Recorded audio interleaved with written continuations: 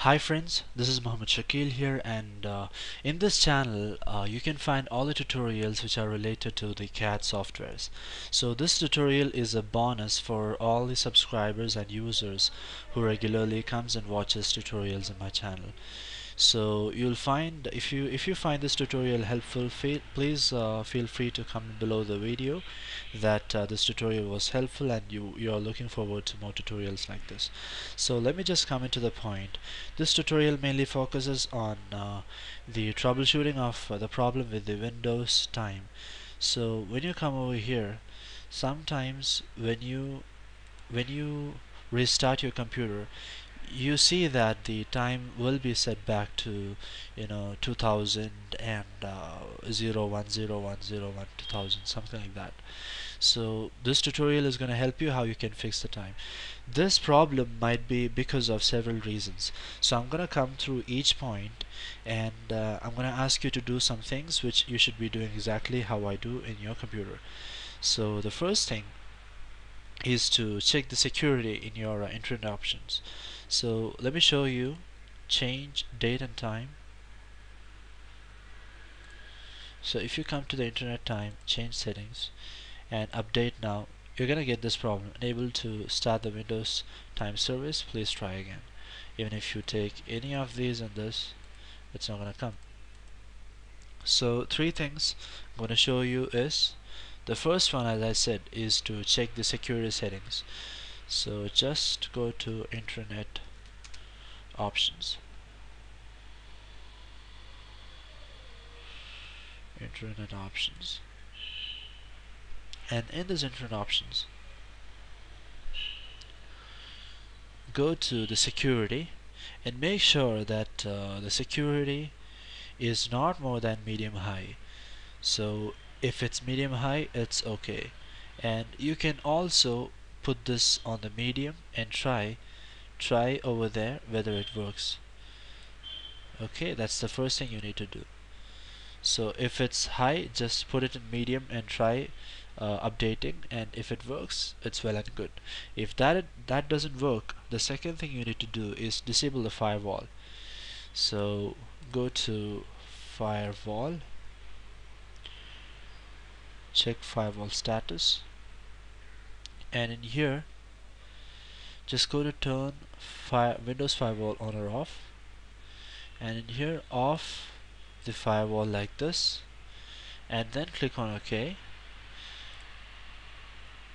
Then what you can do is you can try updating it.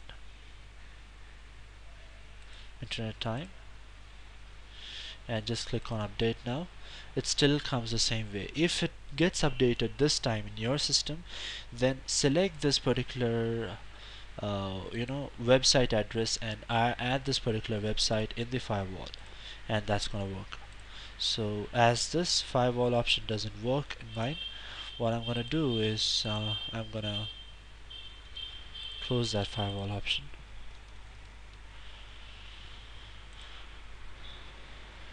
use recommended settings. Make sure you're uh, putting it back to this particular situation once you add it in the uh, firewall. Now the third thing is to go to computer my computer. Right click manage. As you see over here on the left left pane select the services and applications. And in this select the services. And come below and look for Windows time. And in this right click just make sure see what is in the status. There is nothing in the status. And the startup type it's manual. So right click properties and select automatic and select start. So just click on OK and if this was the problem in your case then it might have got solved right now.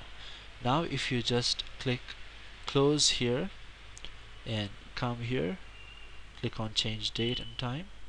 And now if you change the date and time over here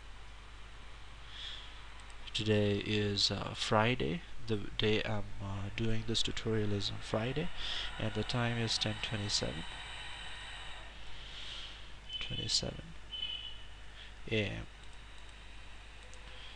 okay and okay now even if I restart the computer this is gonna work now because I have changed it over here and it's gonna work now so that's all about this particular bonus tutorial and if you like this tutorial please support me and please uh, support my videos by liking and uh, sharing it among your friends.